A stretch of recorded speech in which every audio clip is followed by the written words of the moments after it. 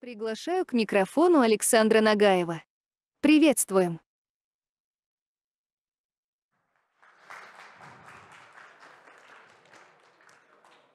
Всех приветствую. Э, Спасибо, рад вас всех здесь видеть. Раз приветствую всех, кто с нами в онлайне сегодня. Э, Меня зовут Нагаев Александр, я лид проекта распознавания жестового языка, инклюзивный очень проект. И сегодня я вам расскажу, как научить модели понимать жестовую речь. Э, Ну, в первую очередь, давайте немного затронем теорию, кто вообще не знает, что такое русский жестовый язык, что он из себя представляет. Э, Русский жестовый язык — это лингвистическая система, это язык, на котором говорят слабослышащие и глухие люди. Они друг с другом коммуницируют, они не знают русского языка. У ру- у русского жестового языка есть своя грамматика, свои правила, которые вообще не пересекаются с русским языком. Ну, давайте введем небольшой такой глоссарий на будущее, чтобы вы понимали э, контекст, о чем я говорю. У нас есть жест. Это визуальное представление какого-либо объекта, действия, какой-либо абстрактной вещи, которую можно интерпретировать в виде движения рук. Есть глосс. Глосс — это наше словесное либо текстовое понимание этой абстрактной вещи. И есть слово. Это прямой перевод относительно контекста жеста в русский язык. Ну, кажется, что сложно так на слух понимать. Давайте приведем пример. А, Слева можете заметить, как девушка показывает жест «кошка». Да, он подписан, чтобы вы примерно понимали, о чем суть. Но этот жест обозначает кошку. То есть глосс в нашем случае — это кошка. Но слово, то есть перевести этот жест, можно по-разному относительно контекста. То есть мы понимаем, что вот это означает какое-то пушистое существо, которое бегает и мяукает. Окей, с этим разобрались. Э, Русский жестовый язык, как я уже сказал, у него есть свои правила, э, свои особенности. И до того, как научить модель его распознавать и переводить, нужно самому понять, как это вообще сделать-то. И давайте приведем такой пример. Э, Перед вами предложение. Вася будет ужинать в гостиной. Давайте посчитаем, сколько здесь слов. Ну, если не считать предлог «в», здесь у нас 4 слова. И давайте попросим нашего дата-инженера Суровцева Петра, который погрузился с головой в эту задачу, и для того, чтобы понять всю суть жестового языка, он его пошел изучать. Просим его перевести данное предложение на жестовый язык. Попробуйте посчитать, сколько жестов Петр сейчас показывает. Кажется, что их сильно больше, чем четыре слова. Действительно, да. Давайте теперь разберем по порядку. Наше исходное предложение. Вася будет ужинать в гостиной. Для того, чтобы перевести данное предложение на жестовый язык, сначала, по правилам жестового языка, нужно обозначить предмет действия. Это наш Вася. Но так как Вася — это имя, а не определенный человек, определенное существо, не абстрактная вещь, а именно какой-то Вася, то жестом мы его обозначить не можем. И в таком случае в жестовом языке есть дактиль, дактильная азбука. Все имена собственные показываются дактилем, то есть каждому жесту пропорционально есть каждая буква русского языка. Далее, ну, кажется, что переведем слово «будет». Да? Нам нужно время там узнать, но нет. По правилам нам нужно сказать, что Вася будет делать. И Вася будет у нас что-то делать в гости комната. Странно, го- гостиная — это гости комната. На самом деле все достаточно просто. В жестовом языке есть сложные составные жесты, которые невозможно показать одним жестом. Вот пример. Жест, точнее слово «гостиная» состоит из двух жестов. Это гость и комната. То есть комната, в которой есть гости. Значит, это у нас гостиная. То же самое, например, комната спать. Это спальня. Логично. Окей, хорошо. Э, Но все-таки что же Вася-то будет делать? Вася будет ужинать. Ужин — это тоже сложное слово. И оно переводится и показывается двумя жестами. Это вечер и кушать. Можно день кушать, можно утро кушать. Понимаете, да, контекст? И только после этого мы можем обозначить время, когда будет делать это все Вася. Достаточно сложно с первого взгляда перевести простое русское предложение на жестовый язык. Здесь очень много пересечений.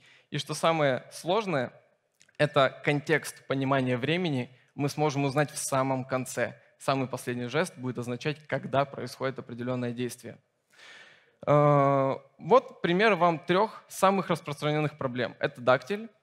Ну, решается она достаточно просто.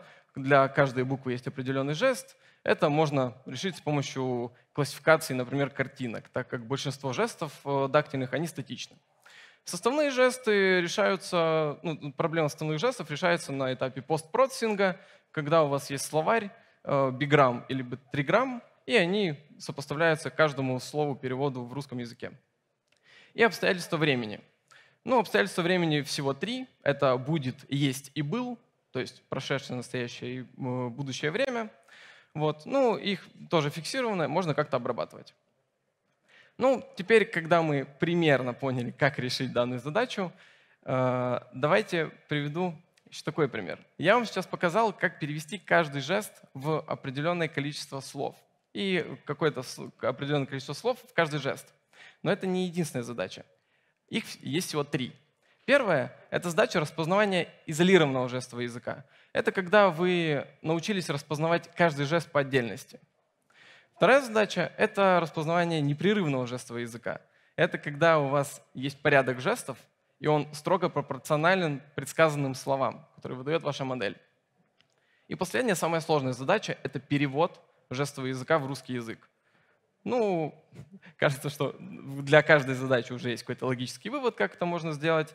Ну, давайте я вам расскажу, как это можно делать низкоуровнево, на уровне нейронок. Но ну, в первую очередь возникает вопрос с данными. В задаче распознавания изолированного жестового языка данные представляют собой набор из отдельных фрагментов видео, где каждому видео соответствует один класс жест.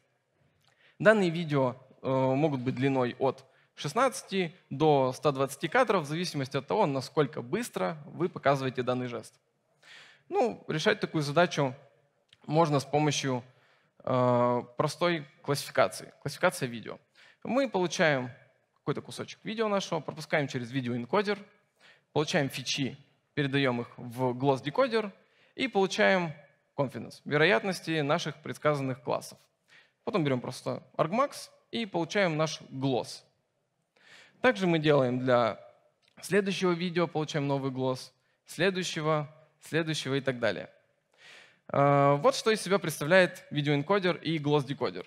Ну, видеоэнкодер, так, мы, как, так как мы понимаем, что нужно а, обрабатывать контекст, последовательность, он должен понимать зависимость от пространственного, от времени. Здесь мы можем взять либо 2D-сверточную а, нейронную сеть для каждого кадра, например, ResNet 16 2D, и потом обработать с помощью 1D-свертки, чтобы понимать контекст. Второй вариант, мы можем взять сразу же 3D-свертку, это то же самое 2D-свертка, только она размерностью еще и в глубину, то есть не 3 на 3, а 3 на 3 на 3. И последнее, мы можем взять 3D-трансформеры. Это достаточно тяжелые сети, и э, они решают данную задачу с лучшим качеством, но они очень-очень тяжелые. После того, как мы получим фичи, кажется, что все, что остается сделать, это предсказать относительно фичей данный класс. И эту задачу спокойно решает линейный слой, который преобразует вашу последовательность фичей в последовательность классов глоссов, после которых вы можете по конфиденсу предсказать то, что обработала модель. Следующая задача — распознавание непрерывного жестового языка. Решается она похожим образом. Данные здесь — это непрерывная последовательность кадров и непрерывная последовательность глоссов — никак не сопоставляемы по времени друг с другом. То есть у нас, например, может быть видео длиной 200 кадров и может быть в нашем случае 5 глоссов. Мы никак не обозначаем, в какой момент времени показывается определенный глосс и когда он заканчивается. Задача решается точно так же, как предыдущая. Э, пропускаем наше видео через видеоэнкодер, глосс-декодер, получаем confidence, предсказываем глосс. Но ведь мы понимаем, что нам нужно предсказывать глоссы дальше но мы не знаем, когда этот жест будет показываться. Что мы делаем? Допустим, у нас вход три кадра. Мы отбрасываем последний кадр и берем новый. Теперь у нас предсказывается еще раз слово «гости», глаз. Еще раз отбрасываем последний кадр, берем новый. А, у нас уже предсказывается комната. И так делаем до самого конца нашей последовательности. И после этого мы можем обработать нашу последовательность либо с помощью лосса, это лосс, который агрегирует Э, наши классы из одинаковых в единые, либо просто на постобработке дропнуть дубликаты. И после этого мы получим э, более-менее похожую последовательность на перевод. Но это все еще не перевод, это глоссы. Э, здесь декодер представляет из себя немного посложнее архитектуру. Простой линейный слой не справится с данной задачей, так как нужно понимать контекст не только самих движений рук, но еще и контекст предсказанных фичей, то есть наших глоссов. И эта, эта задача решается с помощью LSTM-моделей, BLSTM-моделей, рекуррентных моделей и также линейный слой в конце. То есть наш декодер будет уже знать про всю последовательность предсказанных глоссов. Ну и теперь давайте поговорим про задачу транслейшена, перевода. Мы все знаем, как решаются задачи перевода, например, с английского языка на русский язык. Но как решить задачу перевода с жестового языка, например, на русский язык? Ну, достаточно похоже. Данные себя представляют последовательность кадров, так же, как в предыдущем варианте, но у нас больше нет глоссов. У нас есть просто текст. Представьте, что вы скачали видео с какого-нибудь видеохостинга, и у вас есть субтитры. Вот это то же самое. Никакой разметки, кроме как видео и текст. Как модель заставить сопоставлять кадры с нашим текстом? Э, мы берем на вход э, нашу последовательность кадров, опять же, допустим, 32, пропускаем опять через видеоэнкодер, и наш декодер уже представляет токен, токен-декодер. Я думаю, NLP шники уже поняли, в чем здесь главная соль. Мы предсказываем слово «Вася». Да, мы знаем, что Вася предсказывается дактилем, но давайте представим, что это единый жест в нашем случае. Далее мы также удаляем один кадр, берем новый, предсказываем «комната». Но мы знаем, что Вася вроде бы кушал в гостиной. Значит, следующее слово будет предсказано «гости».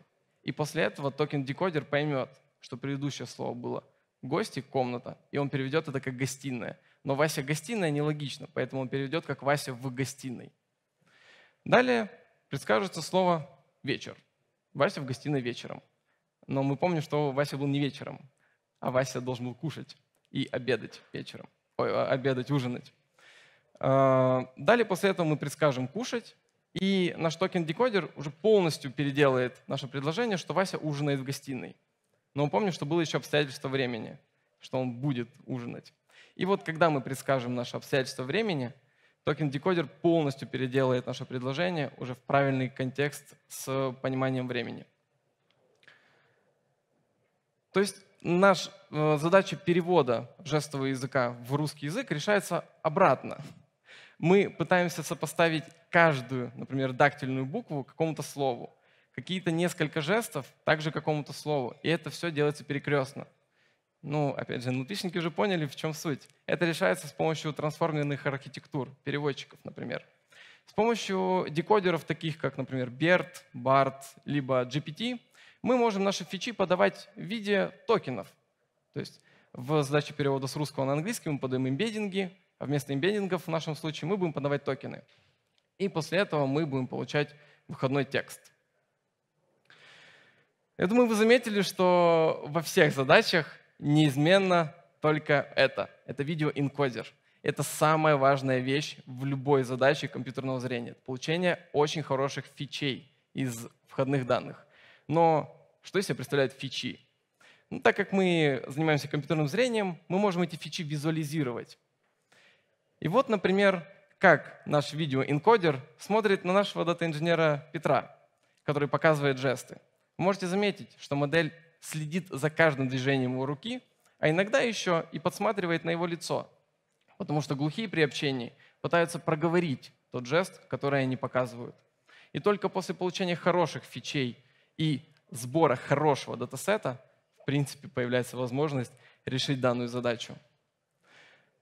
А вот как мы решаем нашу задачу на нашем демостенде, который вы можете найти на первом этаже – Э, я вам предлагаю обсудить рядом с ним, с моими коллегами и вместе со мной. Сейчас я ответа не дам. Подходите и рассказывайте нам свои гипотезы. Следите за нашими соцсетями, подписывайтесь на телеграм-канал, можете перейти в наш репозиторий, где мы выложили наш датасет слова, очень большой датасет для задачи распознавания изолированного жестового языка, на котором предобучены большинство наших энкодеров. И Помогайте нам, контрибьюйте в open source. И всем большое спасибо. Это очень важный инклюзивный проект для нас. И на этом у меня все.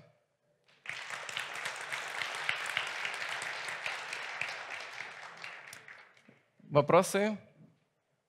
Да, давайте вы.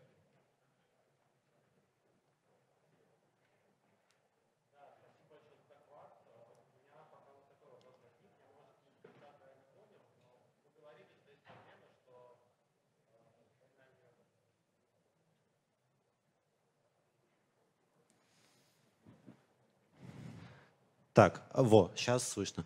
Да, повторю. Еще раз спасибо за доклад. Э, вопрос у меня такой. Я, может, не до конца понял. Э, вы говорили, что есть проблема с тем, что размерность э, жеста может быть от 16 до нескольких сотен кадров, ну или там конкретные цифры не помню. В общем, как получать глоссы? То есть, если у нас один и тот же человек может с разной скоростью показывать разные жесты, как понять, сколько кадров нам брать, чтобы понять глосс? Вот я это не до конца понял и да, да, спасибо. Да. Хороший вопрос.